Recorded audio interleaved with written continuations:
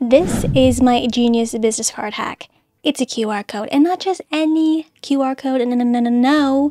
It's a special QR code because if you scan this code, it will take you to my Linktree account. And if you're a real estate agent, you can create a special button that allows users to save your contact information directly to their phone contacts. Because you know what? In real estate, we don't get ready, we stay ready. And if you're new here, my name is Laressa, aka Lat the R E double S A, and this is a place on the internet where I help fellow real estate brothers and sisters keep it real estate so you can become that real estate agent. So subscribe if that sounds like your vibe. Now, to begin, we need to first have a Linktree account made. Personally, I just use the free version of Linktree. It does exactly what it what it needs to do for me at this point, so I'm good with the free version. Now, this is just the home page, and the particular link that we are going to be adding is here. So you see this button, add link, and we are going to look for this link here, contact details.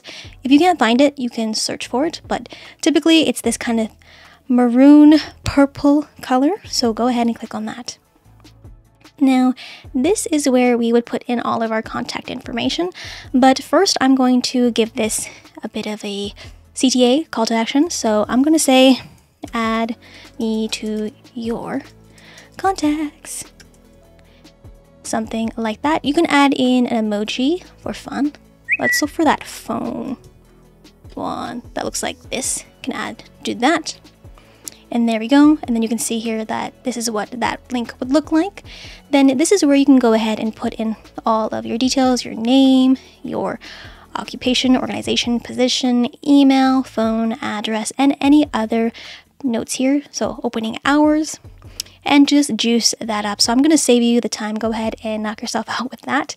Now, a few things to note here is if you go over to link settings to layout, there is this new look for your layout. So typically here we have the classic one, which is just the straight button, or you can change it into this to, to give it a more bigger look. You can put a bigger thumbnail there. But I just like the classic look in my opinion. So that looks pretty sufficient. Obviously, I didn't put any information here, so if you click this, it's, it's not going to do nothing. So I'm just going to leave that there for now. And at this point, once you create that button, you can also, if you wanted to, add in a thumbnail here. So you can add in a thumbnail, you can upload your own, or you can choose a thumbnail here. So if you upload your own, I would just create a little graphic on Canva or just literally put in a profile picture of yourself. So there you go. But I'm just going to leave that blank for now because we have that emoji already in there. And at this point, once you have that button made and you have your Linktree to the way that you like it, we are now going to download our QR code directly from Linktree. And to access that, we got to go up to the share button here, click share, and then go here to my Linktree code. Click on that. And very simply, I'm just going to download just the PNG version of this. And then there we go. Now at this point, we're going to head over into Canva. So to make things really easy, we are just going to be looking for, in my case, iPhone, iPhone wallpaper, Team Apple, my friends. Let me know in the comments down below if you're Team Apple or Android. Let me know. But in, in any case, you just want to go ahead and pick a wallpaper that you like. You can keep it really simple or you can look for these kind of collage ones. These are really fun. But anyways, I have already chosen mine already and I've already finessed it. So this is my design here. And I kept it really simple. This is what the original design looked like here. And all I really did was just add in my QR code. Now to do that, you can upload your QR code directly into your uploads here on the left hand side or you can actually upload your logo or your sorry your QR code into your brand kit which I recommend because you might need it later on. So this is my particular brand kit here and if I wanted to let's say add this as a graphic here I can hit edit and I can go in and hit this plus button and we can go in and upload the let's see you go into our downloads and hit where is the did it save to our downloads hold on give me a minute i'll be right back okay So I'm back. It did download. For some reason, it's not pulling it. So I wonder if I can drag and drop like that. There we go. And then just hit save. So I'm just going to duplicate this to show you kind of what I did. Now, because this QR code here is literally just this, it's a PNG with a transparent background. Obviously, it might be a little bit hard for that person's camera to pick up and read. So in this case, what I'm going to do is go into elements and just grab one of these squares here, make it white, like that. And then I'm just going to go into positions, go into layers over here, and I'm going to pull this back. And then you just kind of situate it just like that.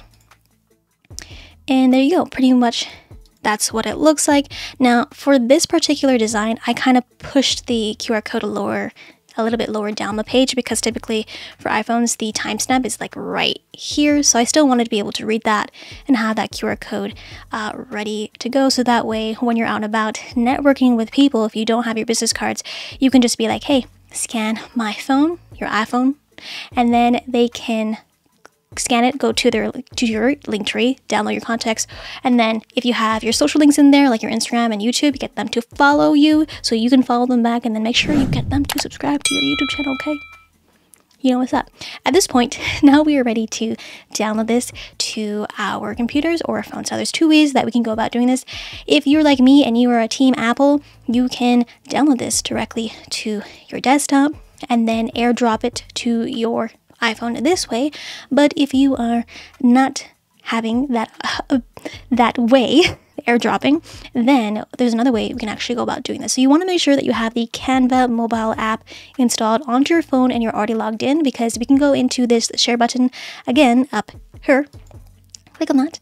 If we go down to more, click on that, and then go to send to phone. This is going to bring up a special Canva QR code. Essentially, if we go ahead and take our phones here, okay, live time, go into here and zoom in. There we go. And then we have our Canva doc opened in the app and you very well. Let me just make sure I turn my accessibility on so you can see what I'm touching. Go up to here to the download then go over here to download and then I'm just going to download just the first page hit done here, then hit download, and this will save directly to your phone's library.